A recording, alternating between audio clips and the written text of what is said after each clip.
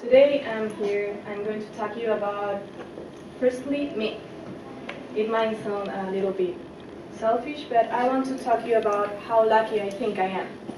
I know there is like a thousand reasons I could tell you that why I think I'm a lucky person. But today I'm going to talk to you about one reason, and it's my school. Uh, in Chile, public schools are not very good because the, well, in Chile you need money to have a good education.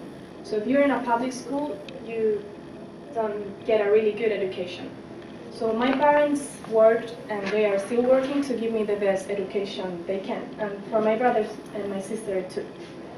So I studied in a private school, and I'm really proud of that because I really love my school. Um, one of the things I can like show you that it's very good for my school is that they taught me about sex education. I'm really thankful for this. Uh, they started talking me about sex education since I was like maybe five years old. Uh, so at the time I didn't know it was like a taboo topic or maybe some controversial topic.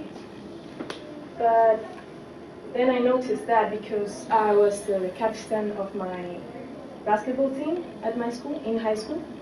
So I met a lot of persons from other schools, a lot of girls, and I made a lot of friends from other schools. One year ago, I was in the subway in Chile, and I saw three of the girls that I met playing basketball from other school. three girls my same age. Now I'm 18 years old, so at the time I was 17. One of these girls was pregnant, 17 years old. The other one had gonorrhea uh, disease. And the third one was just avoiding dates with boys because she didn't want it to end like the other of her friends, like the other two friends. So then I realized that not everyone had my, my option to get a sex education. So today I'm going to talk about why it should be mandatory to teach sex education in schools. I know there are a lot of reasons, and I found a lot of reasons why this should be mandatory. But today I'm just going to talk you about three main reasons. Self-confidence, self-care, and self-control. So first, self-confidence. How do you get self-confidence? By, I mean, through the sex education. Well, you know how your body works. They teach you how your body works, and not just your body, uh, but the body, body of the opposite sex. So you understand a lot of things that you didn't know, and you start accept, accepting yourself. Uh, you know the things you like, things you don't like. You start knowing a lot of things that you weren't able to know. Then, self-care. How can you get to self-care? Well, getting informed, because you really receive a lot, lot of information, but it's different information you get uh, when you're five years old, eight years old, ten years old, and so on.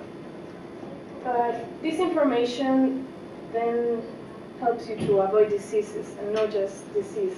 Uh, helps you to avoid things that you didn't want for you or sometimes for your friends.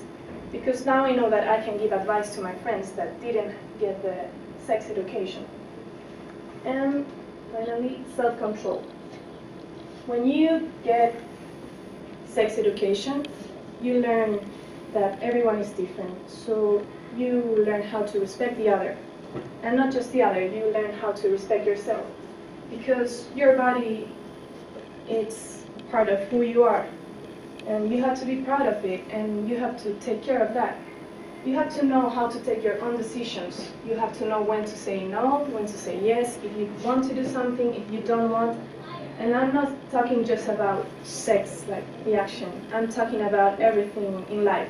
Work, at school, in your relationship in, in, with your friends, with your family.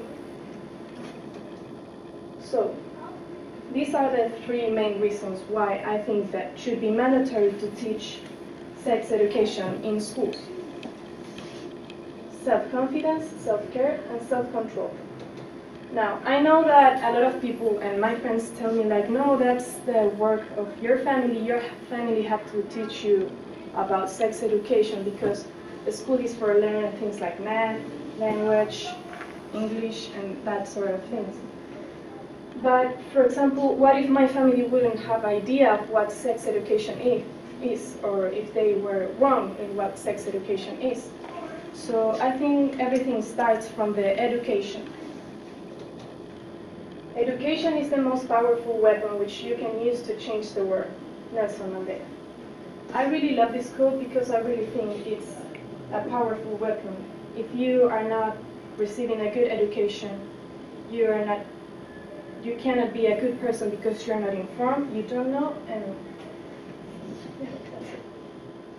Thank you.